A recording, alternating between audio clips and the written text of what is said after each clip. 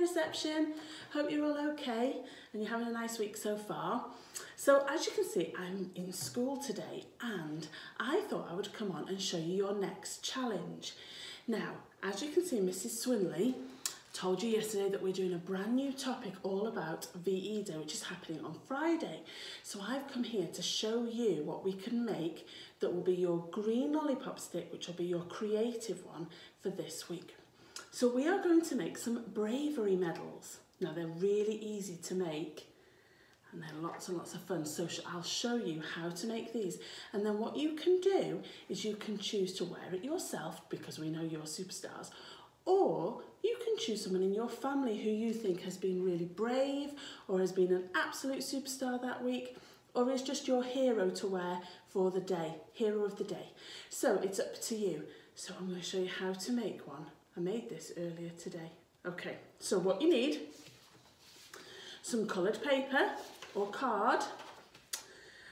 You might need some special gold card, some glue and some scissors. Now, it doesn't matter if you don't have the right colours that you want because you can make this and then you can colour them at the end so it's not a problem at all. I'm going to show you how I made mine. First of all, I'm going to cut a strip of green paper. Okay? I'm going to make it quite long because I can always cut it at the end. Then I'm going to get my green one and I'm going to cut the same length of orange one. Okay. Then, guess what? I'm going to do exactly the same with the blue piece of paper. Now, once you've cut your strips, you can move your paper out there because this is going to be what makes your ribbons at the top. So I'm going to get my piece of paper. Now I think they're too long, so I'm going to give them a bit of a chop at the bottom. So I've got my strips of paper. Okay. Then what I'm going to do, I'm going to get my glue stick and I'm going to put a line of glue down half, half of my strip and I'm going to choose which colour order I want to do it in. So I'm going to do blue first, then I'm going to do the orange. So I'm going to stick it on top of one another like that. Then I'm going to put my glue down the orange strip, only halfway down, and get my last colour. And I'm going to make it green. Now, what I need to do is I need to make sure that all of these three strips are about the same size. So this green one needs a little bit of a chop.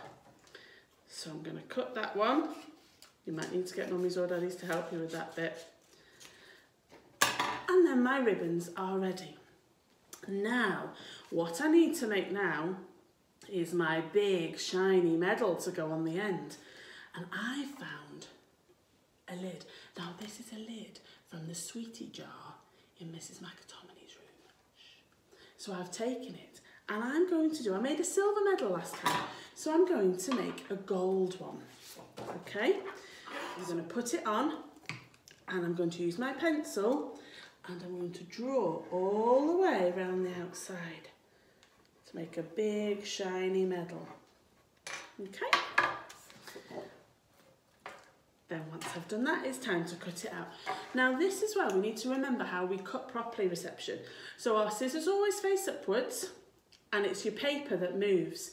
So I'm to scissors up and I'm going to try and move the paper. Look, the scissors don't move at all. If we start moving the scissors, what can happen? Look, we get ourselves in a real muddle and we can't do it properly. So we keep our hands down cut round, keep the scissors pointing upwards and we move the paper all the way around. All done. Now, the only thing left to do here is to stick our medal on. So I put some glue along the bottom and I'll stick my big gold shiny medal to the bottom. Now on this one, Did some nice glitter. If you've got glitter at home, you could put some nice glitter or you might have some sequins or some pom-poms or you might not have that. So you might just have some pens and you might do a lovely design. I'm to see if I can do a little bit of glitter on mine today. I've got some gold glitter here.